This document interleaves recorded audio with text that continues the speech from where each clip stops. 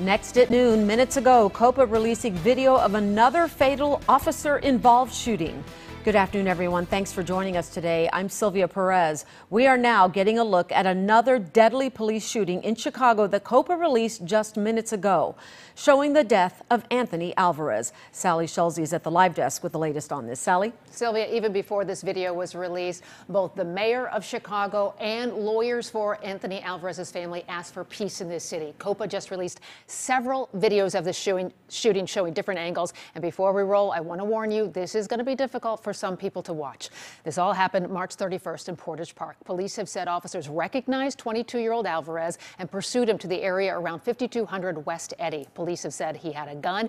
Let's take a listen as the chase goes down the alleyway here. They're going to get closer, and you're going to hear them say, drop the gun twice, and then an officer shoots five times. Let's take a listen.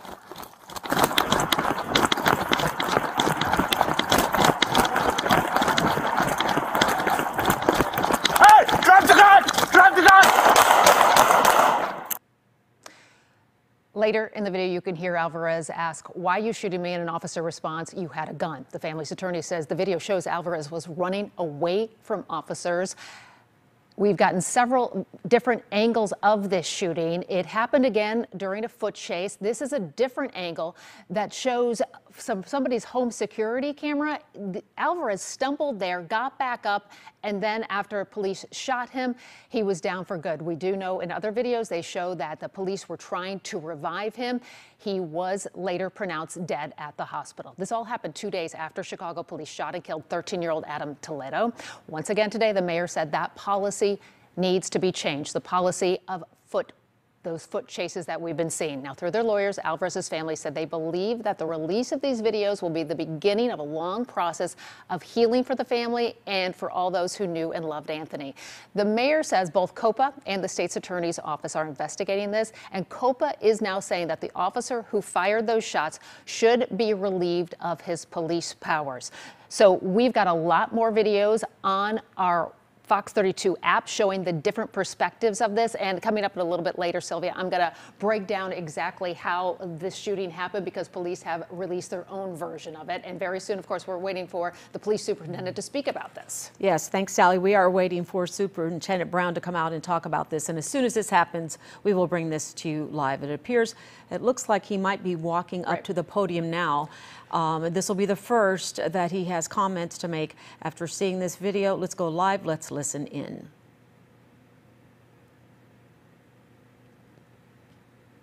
Just a second here as we try to get him. Here we go. Let's take it live. 3500 block of North Laramie Avenue. Alvarez, who was armed with a gun, was shot by police in the 5200 block of West Eddy Street. Officers immediately rendered aid until medical personnel arrived. Alvarez was transport, transported to Illinois Masonic, where he was pronounced. Uh, the body worn camera footage, of course, as you know, of this incident was released today by the Civilian Office of Police Accountability. Chicago Police Department has also released video footage of this incident. The officer involved in this shooting was placed on routine administrative leave for 30 days following this incident. With that, I'll take questions.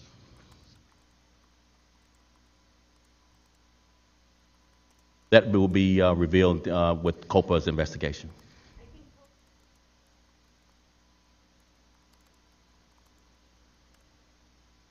I have not heard that from COPA. You have information I don't have?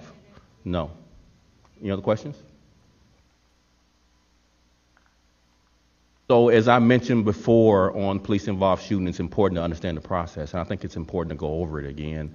That COPA conducts an independent investigation of police involved shootings of Chicago police officers. Once they've concluded their investigation, at that point, they forward their recommendations to me of whether or not the shooting was within our policy. I then have 90 days as superintendent to either agree or disagree with COPA's recommendation if the discipline recommended was uh, is either a year or separation from the department. Once I make my decision, whether it's agree or disagree, then that's forwarded to the police board for final decision.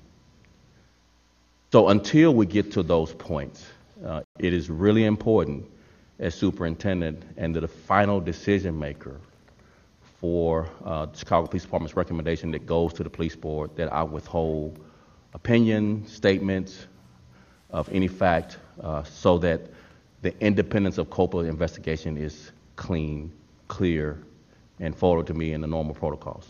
Any other questions? Yes.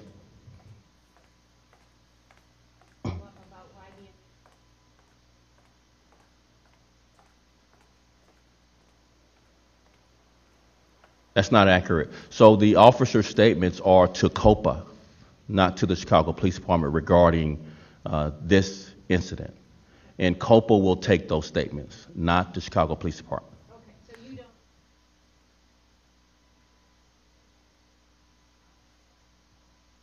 I'll just give the same answer. COPA will take those statements from the officer, and at that point, when they complete the investigation, all of that will be forwarded to me, and then at that point, I'll make my recommendation to agree or disagree. Any other questions? That'll be revealed uh, in the COPA investigation. They rendered aid. Uh, that include, included several things, but that'll be revealed in COPA's investigation on what all that included. Any other questions? Yes. Oh, I just wrote something in the DO1A. I had reviewed the video uh, several weeks ago. Uh, I've been reviewing it uh, since uh, several times, uh, and so I've had several different, uh, you know, views of the video at several different times. Soon after it happened, and then thereafter, several times. Any other questions?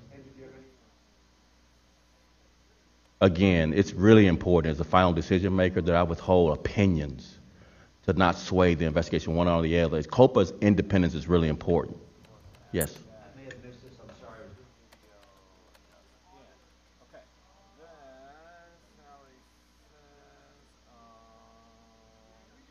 If you don't mind, I'll get to that. I just want to make sure all the on-topic things are answered. Any other on-topic things related to the Alvarez police involved?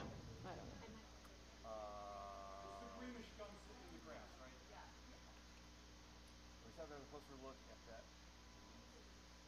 COPA will uh, uh, definitely get to that point in, in their investigation. Any other? Yes.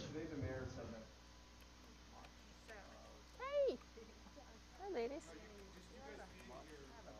So I'm the final decider on COPA, on COPA's investigation of reform. The mayor is not. So I have to stay uh, non-opinionated on facts until I get that complete investigation. It's really important for, for the independence. I think the transparency to the public, you, you wouldn't want the, the police department swaying evidence before it's completed, its investigation. Sure. Fair enough.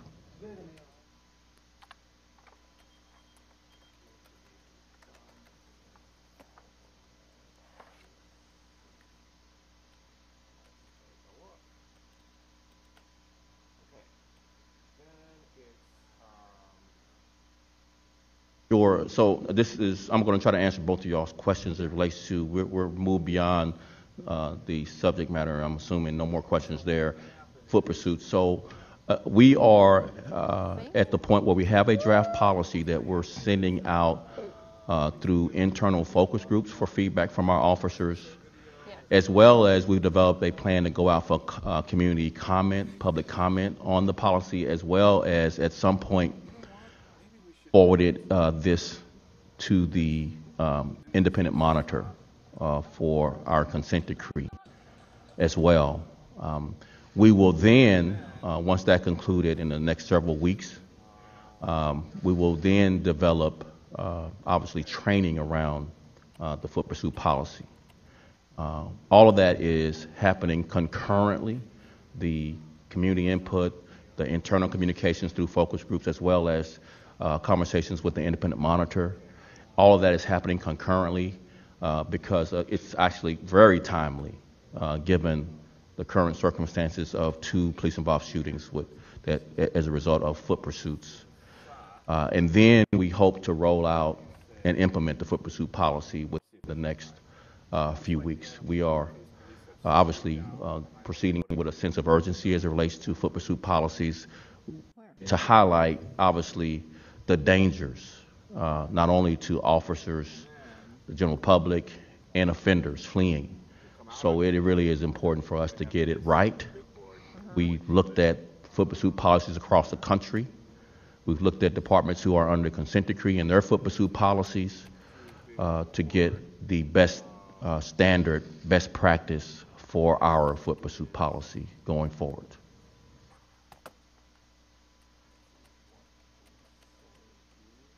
No, I can't. That's part of the investigation. Thank you very much. I really appreciate it. So you've been listening to Superintendent Brown talking about the video that was just released by COPA of 22-year-old Anthony Alvarez. This happened in uh, Portage Park, and that was the superintendent talking about the video, saying he could not say much.